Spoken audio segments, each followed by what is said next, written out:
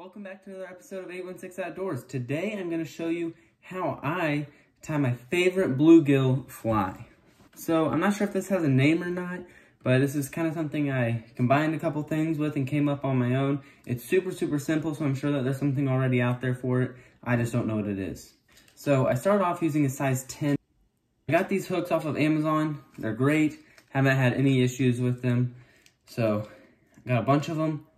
Size 10 is what I find works best. Size 8 is a little too big, and you can get away with size 12, but it's kind of small and hard to tie. And also, when the fish eat it, sometimes they swallow it, and it's really tough to... Okay, so I put my hook in my vise, and now I need to start putting some thread on.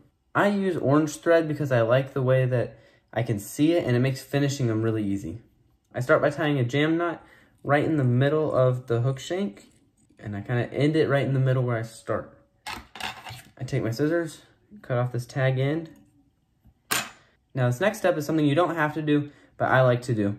I take a small piece of lead wire and I put it right along the hook shank.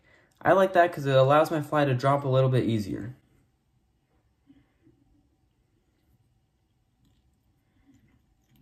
And now I'm ready to put the rest of my fly together.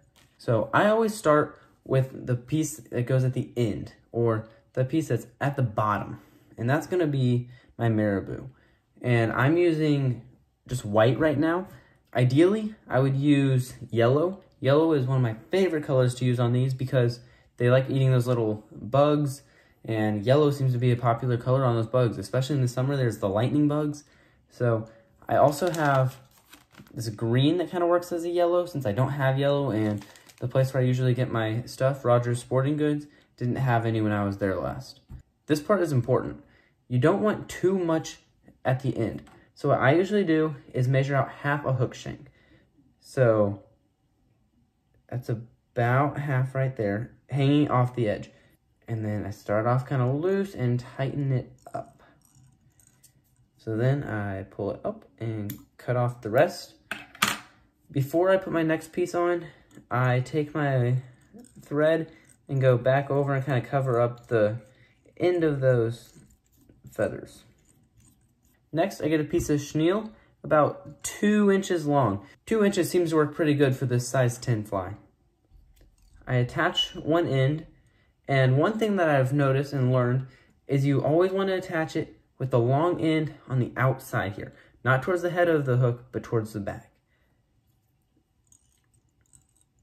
The reason for this is when you fold it back over, it makes a nice clean edge around the outside. So I secure that all the way on there, and then I make a couple more wraps and bring my thread to the front of the hook. So now it's at the front. Now is an important step. I have to wrap my chenille around. I do lots of tight wraps, making them as small as possible and super tight. This makes my fly more durable and a better presentation. As I get towards the end here, I take my thread, wrap it underneath there, and secure the end. Before I make too many wraps, I want to cut off this tag end, just like that. One reason I like using this color thread is because it makes the head of the hook super easy to make red, or orange in this case.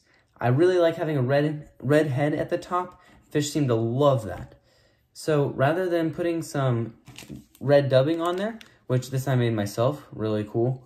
You guys should definitely try to make some dubbing yourself, super easy and cost effective as well.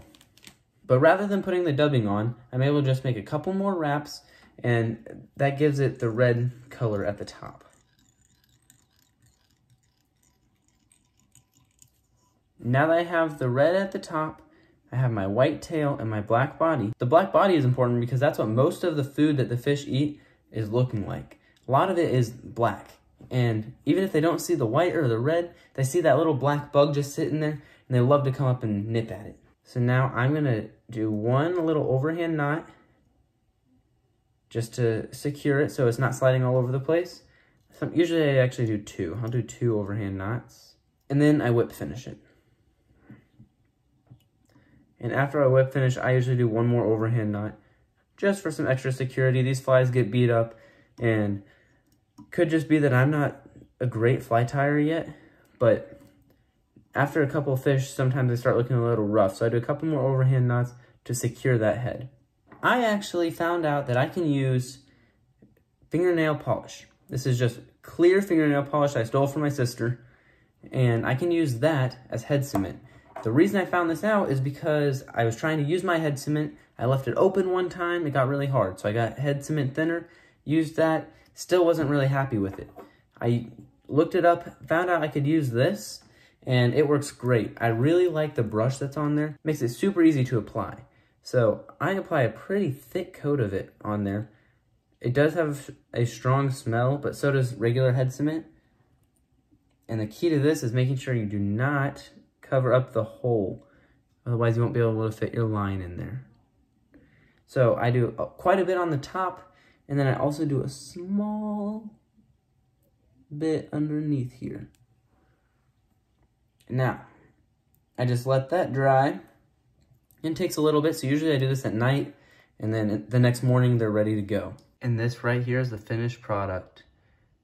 All you have to do is tie your tippet on the end there, cast it out there, and bluegill love it.